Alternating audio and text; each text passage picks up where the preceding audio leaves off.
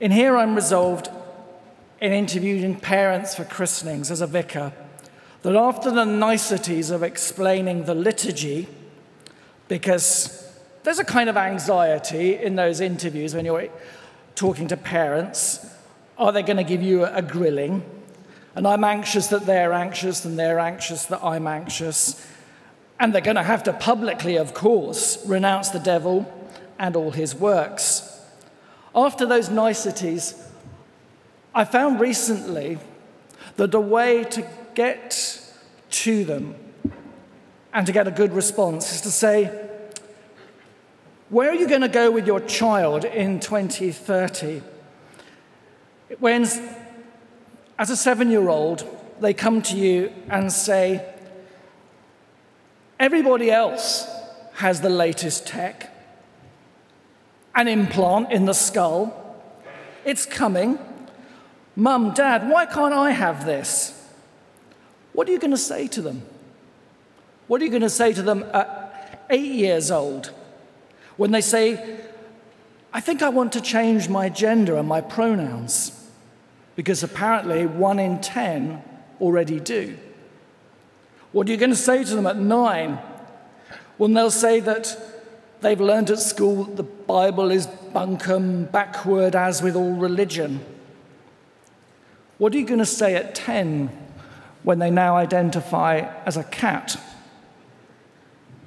What are you going to say at 11 when they tell you that all history is rubbish? When they tell you at 12 that men are mainly toxic, and at 13 women have penises, and they've learned this at biology. At 14, that polyamory is an acceptable life choice. And at 15, being a parent is pointless.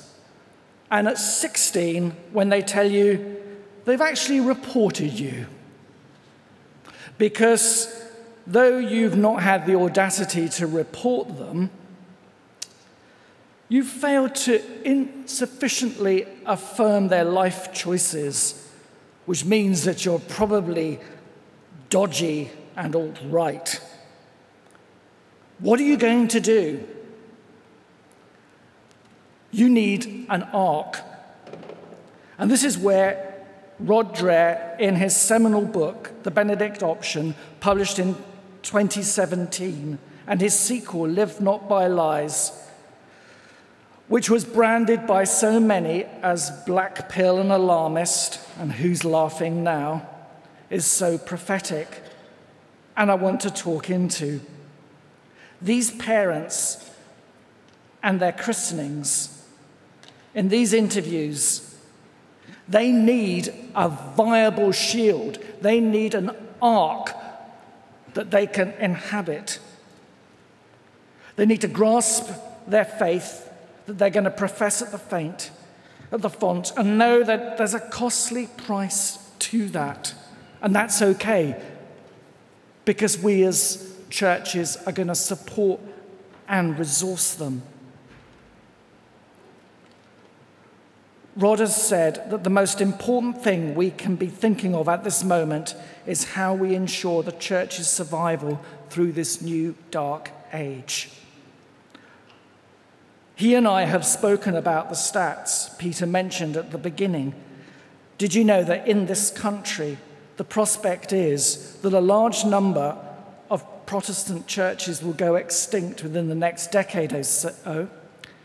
Anglican and Catholic churches are set to expire by 2060 and 2070.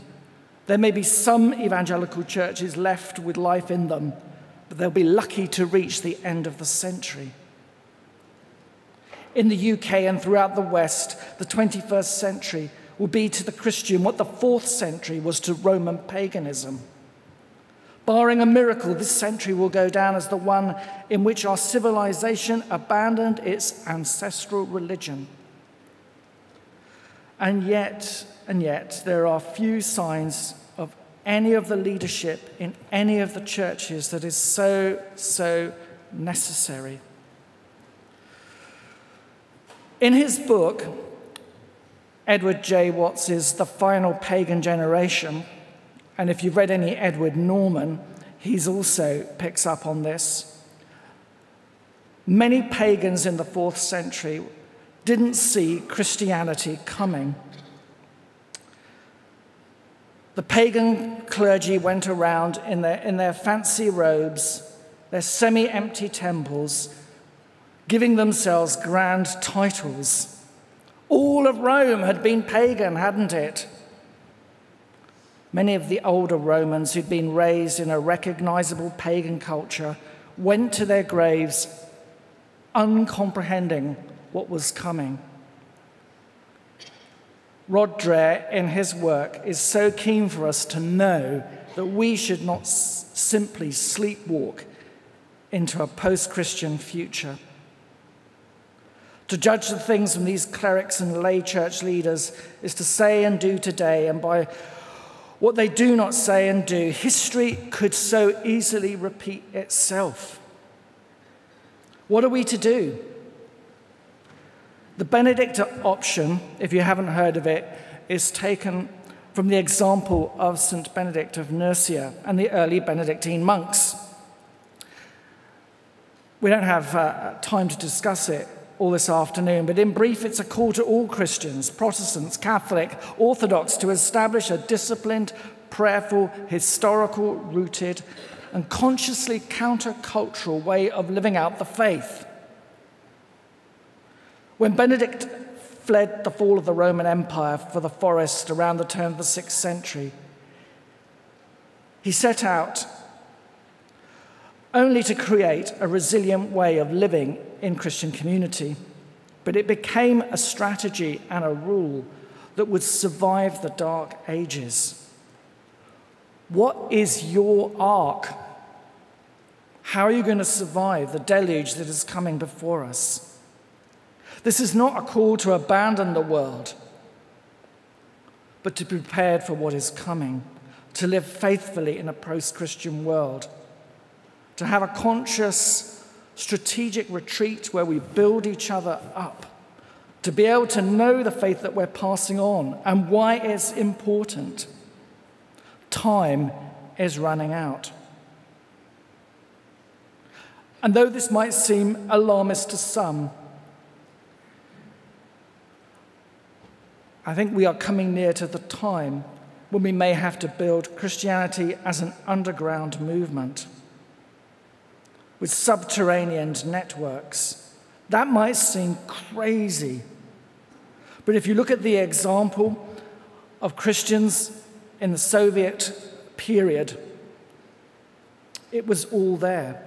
And what before us now is not necessarily jackboot totalitarianism, but a soft, Huxleyan, brave new world where we can have everything bar truth.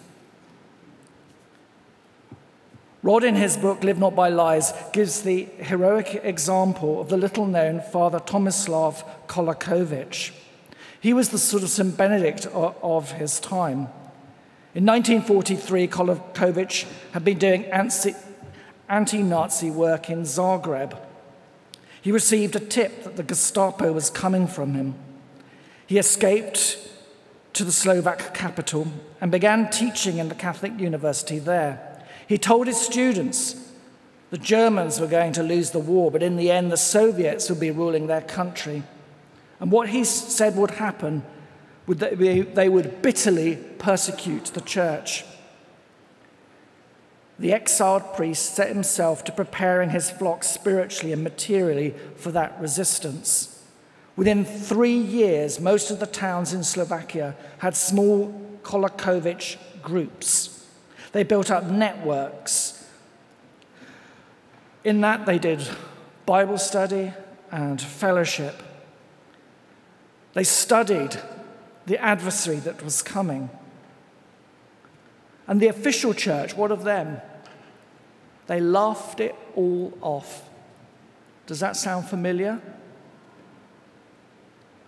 They thought they could negotiate with the enemy, uh, that they could placate them. The communists wouldn't be that bad. And of course, we all know what happened. And the Kolakovich communities were the ones that were sustained and flourished, prepared for the time ahead. Do you know Philip Larkin's poem, Myxomatosis? You may have thought things would come right again, if only keep quite still and wait. Perhaps you think this is all very gloomy. But is it weak and cowardly to refuse to face facts? So, where is all the hope in, in this? Christianity, at the end, is a religion of hope. And that's not the same as optimism. An optimist believes that everything can only get better, but that's not always true. We're not going to get out of this, you know, with just a little bit of elbow grease. A hopeful Christian, on the other hand, wants to get things better, but he knows that this may be a long term investment. The suffering has to be given meaning, even embraced. There's a spirituality there of the exile. I was speaking to someone this morning who said to me that they're interested in ministry, but realize that the years ahead would be that not dissimilar to the exiles in the time of Babylon in the scriptures. They had to take into themselves a spirituality of the exile, to become resilient in that way. And boy, in this country, do we have examples of great saints on all sides of the religious divide Ridley, Latimer, More, Fisher, Campion.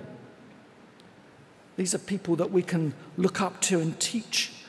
Do we ever hear about these in our school curriculums? Why not? Against all the odds, Benedict was able to give the seeds to a new civilization. I think I want to uh, underline one particular point that Rod and I would bang on over and over again, and that is that we have to work together on this.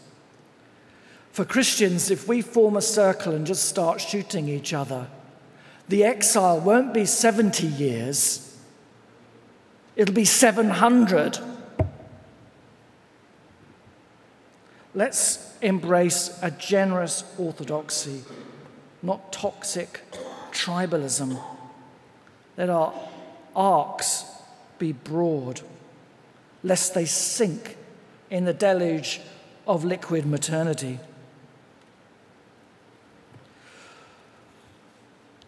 I'd like to conclude with the words of Christ. Jesus said, I have told you these things so that you may have peace. In this world and in the world of tomorrow, we will have trouble. But take heart, I have overcome the world. Thank you very much.